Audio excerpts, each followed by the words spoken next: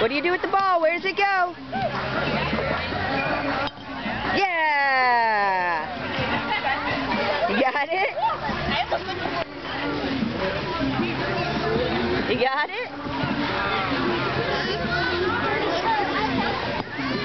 All right.